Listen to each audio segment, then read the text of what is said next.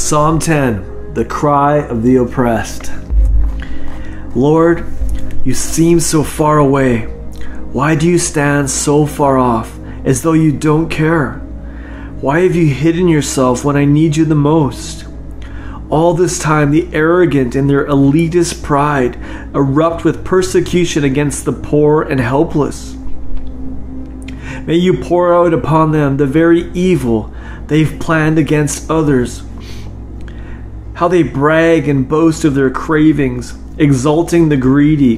They congratulate themselves as they despise God. These arrogant ones, so smug and secure, in their plots and plans, they reassure themselves by saying, There is no God. There's no need of Him. There's nothing to worry about. Our wealth will last for all time. So seemingly successful are they in their schemes, prosperous in all their plans, and scoffing at any restraint.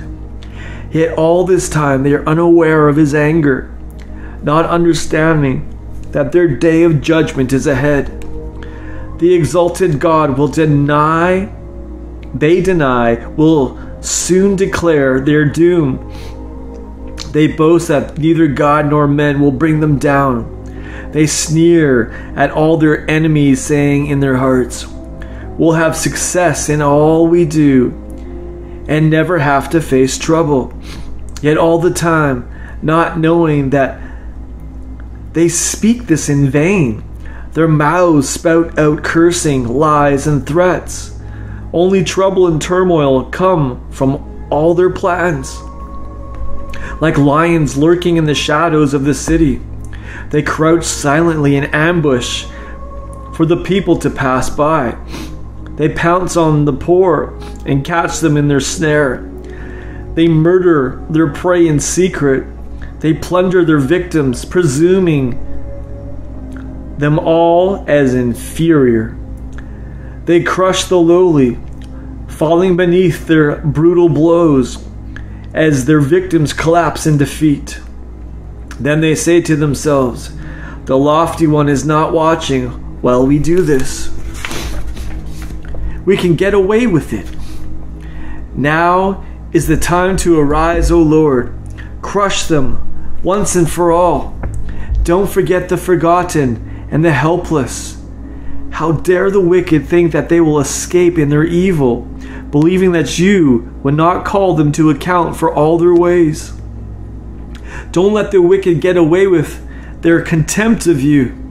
Lord, I know you see all that they're doing, noting their each and every deed.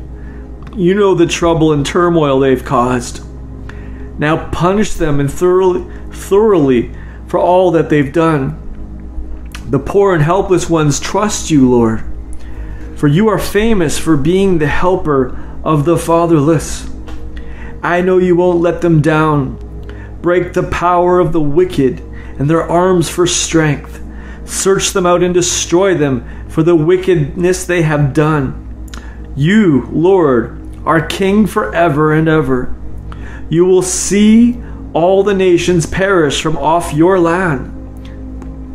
Lord, you know and understand all the hopes of the humble, and will hear their cries and comfort their hearts, helping them all.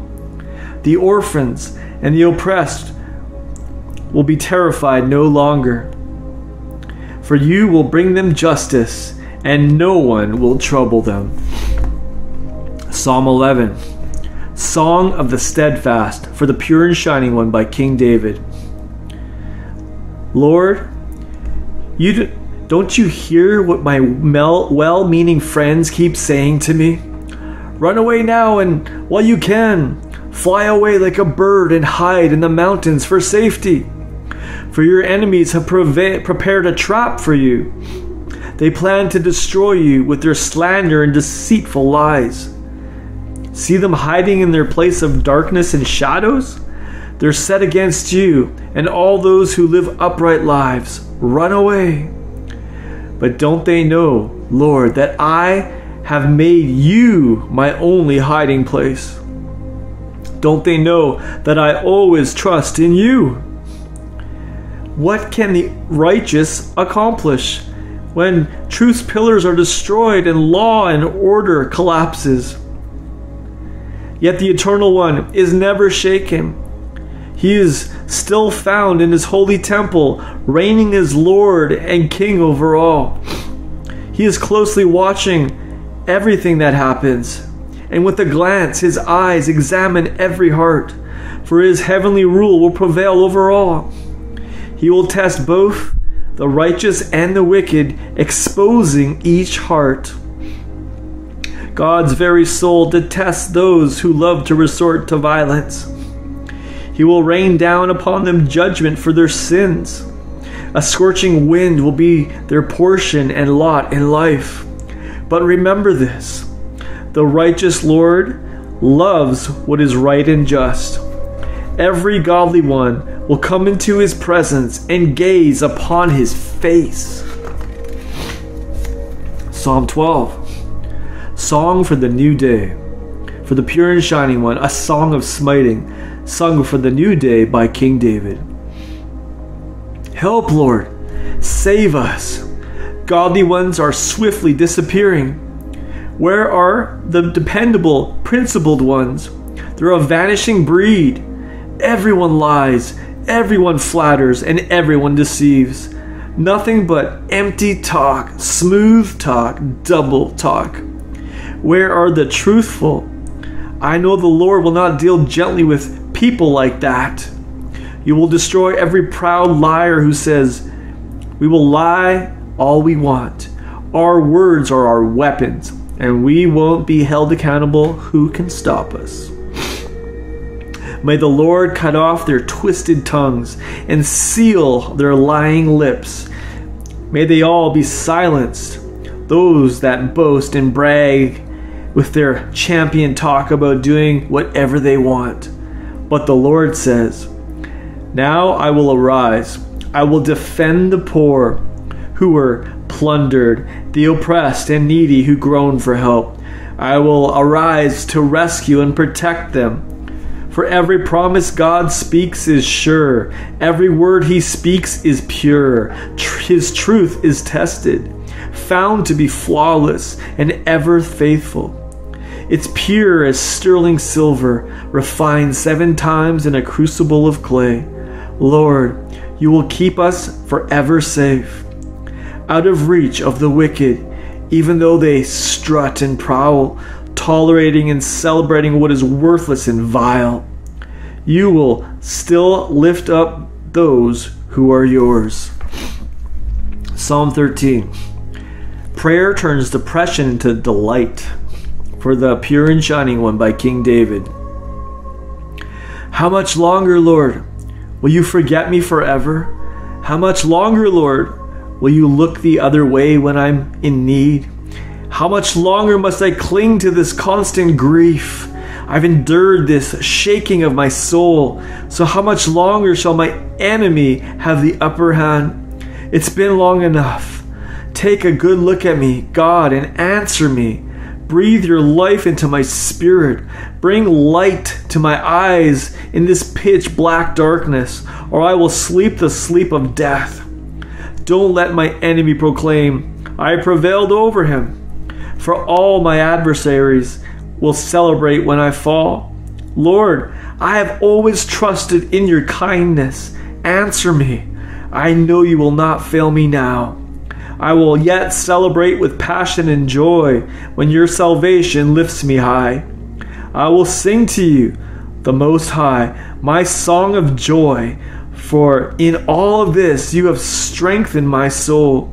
My enemies say, I have no Savior, but I know that I have one in you. Psalm 14 God looks down from heaven for the pure and shining one by King David.